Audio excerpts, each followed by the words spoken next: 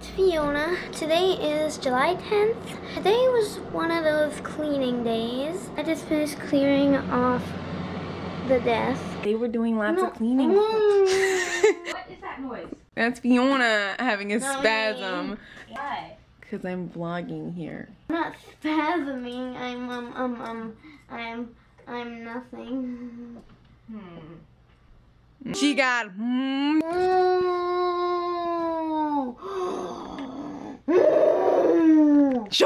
Fiona. I'm lit. now I have to get started on my closet.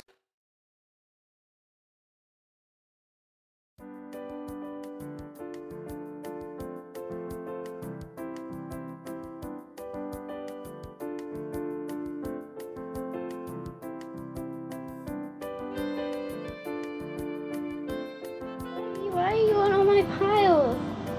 Why? Why are you on my piles?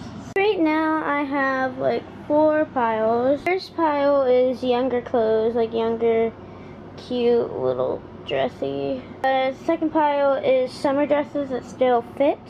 As you know, this is my new one if you watched yesterday's vlog.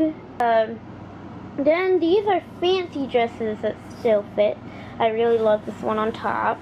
And these are from like uh, dance showcases for like these are like baton costumes.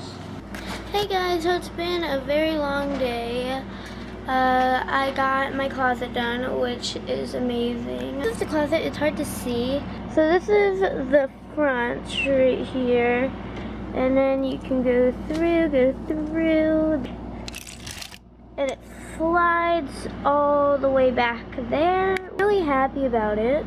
Here there's like hooks I have up there and I have my scarves here and some like tights from a school uniform. So it's been a hard working day and I feel very accomplished and excited to use my closet because I have more room now and uh, it's more organized. If you guys did something recently that you feel accomplished about, put it in the comment section below. I'm gonna eat dinner and go to bed because I'm really tired. Please subscribe and like this video. Have a great day. Bye guys.